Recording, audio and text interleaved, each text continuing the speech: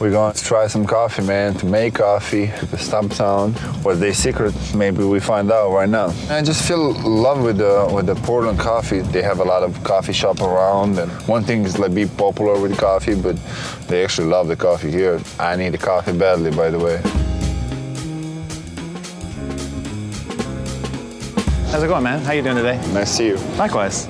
What do you want to drink today? I want to do cappuccino. Cappuccino? Nice. Where you grew up, is there a big coffee culture? Yeah. Yeah. You know, we, our tradition is kind of wise with the, if you know the Turkish coffee, how it looks mm-hmm. like. Yeah. That's how I grew up. With the coffee that you're drinking back at home too, is there a certain thing that you don't find with that, with coffee here in the States?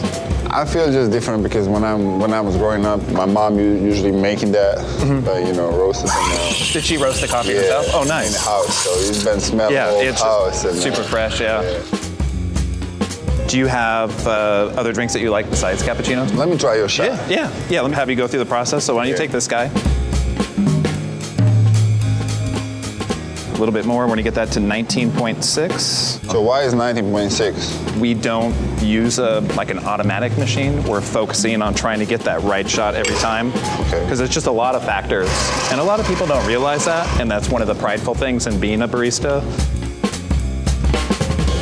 When you go back home, like during the off season and stuff, and you have your first coffee at home, is it just a moment where you're just like, Wow, for sure, for sure.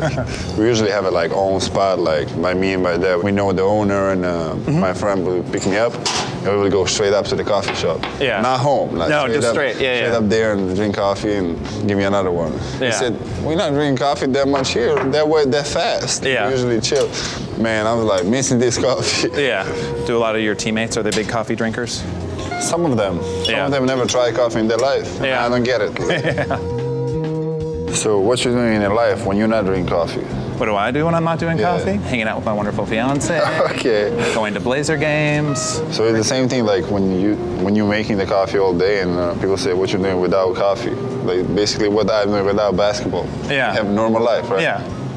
But yeah, thank you for showing us Yeah. how you guys doing here. Stop Stumptown coffee, good coffee.